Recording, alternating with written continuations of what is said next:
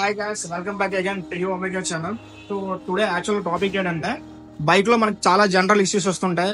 Like external చూసుకుంటే brake fail అవడం engine chain అనేది లూజ్ అయిపోయి సో మనకి ట్రావెలింగ్ చేసిన కొంచెం ఇబ్బంది అవుతుంది లాంగ్ డ్రైవ్ చేస్తున్నాడు. ఇవి మనం జనరల్గా మెకానిక్ తీసుకెళ్ళేస్తారే సాల్వ్ చేయగలం. బట్ ఎమర్జెన్సీ కేసు వచ్చేసరికి మనకి ఇంటర్నల్ ఇష్యూ ఏదైనా వచ్చినప్పుడు ఎలా సాల్వ్ చేయాలి అని చెప్పి నాకు నాలెడ్జ్తో మీకు చెప్తాను. సో ఇది ఓన్లీ టెంపరీ పర్పస్ మాత్రమే.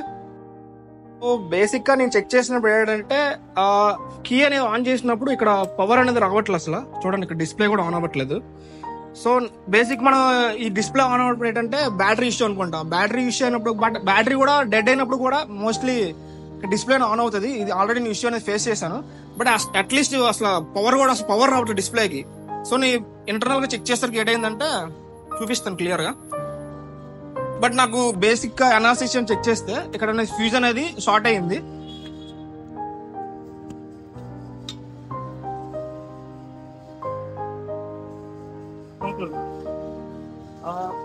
this is the equipment fuse చేయడానికి. సో ఇక్కడ అనేది ప్రెస్ చేయాలి మనం యాక్చువల్గా. ప్రెస్ చేస్తే ఇక్కడ చూడండి. కొన్ని డీటెయిల్స్ ఉన్నాయి మనకి. టెన్ ఎంఎం సంథింగ్ ఇలా సెవెన్ పాయింట్ ఫైవ్ ఉంది. డిస్ప్లే కూడా ఏ- అంటే ఏ దీనికి ఏ ఇన్స్ట్రక్షన్ ఎలా ఫాలో అని చెప్పి క్లియర్గా మెన్షన్ చేశారు. బట్ నేను ఆల్మోస్ట్ ఇప్పుడు సెవెన్ పాయింట్ ఫైవ్ చెక్ చేద్దాం. సెవెన్ పాయింట్ ఫైవ్ అనేది చూసుకుంటే ఫీజ్ అనేది కరెక్ట్ గానే ఉంది. ఓకే ప్లాస్టిక్ రీప్లేస్ చేద్దాం టెన్ పాయింట్ టెన్ చెక్ చేస్తే ఇక్కడ అనేది ఫీజ్ అనేది షార్ట్ అయింది. సో కనిపిస్తుంది కదా రెండు డివైడ్ అయి ఉన్నాయి. ఈ ఇక్కడ ఈ ప్లేస్ చెక్ చేస్తే రెండు డివైడ్ అయి ఉన్నాయి. సో ఇది ఫీజ్ అనేది షార్ట్ అయ్యింది. బట్ మనకి ఇక్కడ ఇక్కడ చూసుకుంటే ఎక్స్ట్రా అనేది స్పేర్ స్పేర్ ఫ్యూజ్ అనేది ఉండాలి. బట్ ఈ సెవెన్ పాయింట్ ఫైవ్ అనేది మనకు వర్కౌట్ అవ్వదు. సో ఇప్పుడు ఏంటంటే మనకి ఫ్యూజ్ అనేది పోయింది కాబట్టి దీనికి ఆల్టర్నేషన్గా ఒకటి చేయాలి. నేను ఏం చేశానంటే స్మాల్ కాపర్ వైర్ అనేది తీసుకున్నాను. ఇదని చూడండి. సో దీన్ని యూజ్ చేసి ఈ రెండింటిని మెచ్ చేస్తున్నాను. గైస్ ఇది ఓన్లీ ఎమర్జెన్సీ పర్పస్ మాత్రమే. అంటే టెంపరీగా యూజ్ చేయండి. కంటిన్యూస్గా యూజ్ చేయడానికి అవ్వదు ఓకే ఇప్పుడు దీన్ని ఇన్స్టాల్ చేస్తున్నాను చూడండి ఒకసారి. యాష్ సేమ్ పొజిషన్లో పెట్టాలి.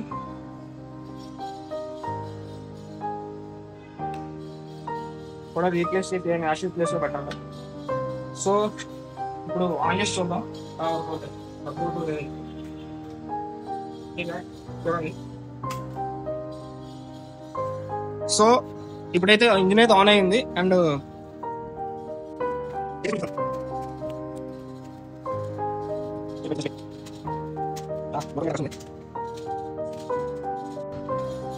ఓకే న్యూట్రల్ అయింది సారీ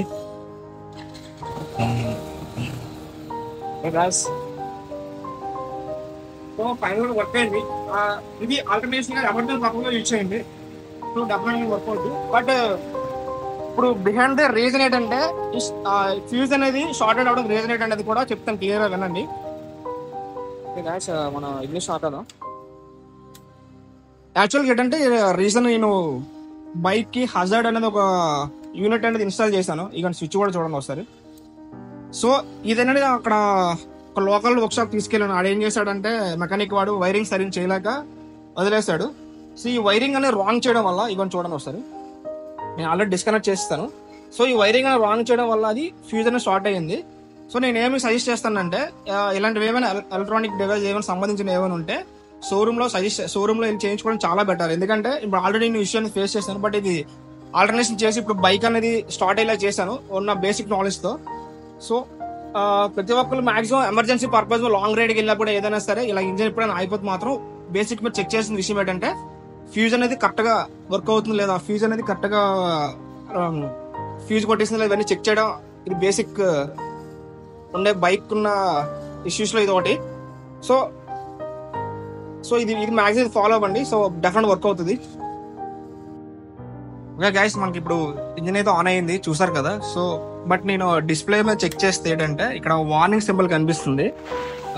మేబీ ఇది కూడా ఈ రీజన్ బిహైండ్ ఏంటో మనకు తెలియదు సో నేనైతే షోరూమ్కి వెళ్ళి చెక్ చేసుకుంటాను. నాకైతే డౌట్ అయితే క్లియర్ అవ్వాలి. అది వార్నింగ్ సింబల్ ఎందుకు కనిపిస్తుంది అనేది బట్ ఇప్పటికి వస్తే టెక్నిక్ అయితే వర్కౌట్ అయ్యింది. ఎమర్జెన్సీ పర్పస్ ఇప్పుడు అట్లీస్ట్ మన షోరూమ్ షోరూమ్కి వెళ్ళడానికైనా అట్లీస్ట్ షాప్ షాప్ దగ్గరికి వెళ్ళి ఫ్యూజ్ కొనుక్కోవాలన్నా సరే ఈ టెక్నిక్ యూజ్ చేస్తే పక్కా వర్కౌట్ అవుతుంది. అండ్ నేను ఇచ్చే సజెషన్ ఏంటంటే ఇప్పుడు బైక్ సంబంధించిన ఏదైనా సరే ఒక వైరింగ్ కానీ ఒక లైక్ ఫాగ్ ల్యాంప్స్ కానీ ఏవైనా ఇన్స్టాల్ చేసినప్పుడు అంటే ప్రొఫెషనల్స్ ఉంటారు. వాళ్ళ దగ్గరికి వెళ్ళి ఇన్స్టాల్ చేసుకోండి. బట్ నేను నేనేం చేస్తున్నాను మిస్టేక్ ఏంటంటే అందరూ ఈ యూనిట్ అనేది ఇన్స్టాల్ చేస్తారు. బట్ నేను రాంగ్ పర్సన్స్తో దగ్గరికి వెళ్ళి వాళ్ళతో చేయించడం వల్ల వైరింగ్ అని రాంగ్ చేయడం వల్ల ఫ్యూజ్ అనేది షార్ట్ అయ్యింది. సో అది ఫ్రెండ్స్ ఈ టెక్నిక్ అయితే క్లియర్ ఎక్స్ప్లెయిన్ చేశాను. ఎమర్జెన్సీ పర్పస్ ఎమర్జెన్సీ మీద ఒకవేళ బైక్ ఏదైనా ఇష్యూ వచ్చినా సరే ఎలా బ్రేక్ డౌన్ అయినప్పుడు ఎలా సాల్వ్ చేయాలి ఎలాగ మనం సేమ్ ఆ టెక్నిక్ ఎలా అప్లై చేయాలి క్లియర్ ఎక్స్ప్లెయిన్ చేశాను. బట్ నేను చెప్పాలనుకుంది ఏంటంటే ప్రతి చాలా మంది దగ్గర బైక్స్ అనేది ఉంటున్నప్పుడు ఉన్నప్పుడు చిన్న చిన్న ఇష్యూస్ వచ్చినప్పుడు కానీ ఏదైనా ప్రాబ్లమ్స్ వచ్చినప్పుడు మనమే సాల్వ్ చేసుకుని ఉండాలి. సో అలా ఉంటేనే బెటర్ యాజ్ అ బైక్ రైడర్గా చెప్తున్నాను. అండ్ ఇంకా బైక్ గురించి బాగా తెలియాలంటే బైక్తో కూడా ఒక మాన్యువల్ ఇస్తారు మాన్యువల్ బుక్ అనేది. ఆ బుక్ అనేది క్లియర్ చదివితే దాంట్లో చాలా ఇన్ఫర్మేషన్ ఉంటుంది ప్రతి పార్ట్ గురించి ఏంటనేది సో అలా చదివి నేను కూడా ఇష్యూ అనేది తెలుసుకున్నాను. So until then bye please do subscribe and like and follow me and so ఇప్పుడు ఏంటంటే నేను ఫీజు కొనుక్కోవడానికి వెళ్ళాలి. So bye bye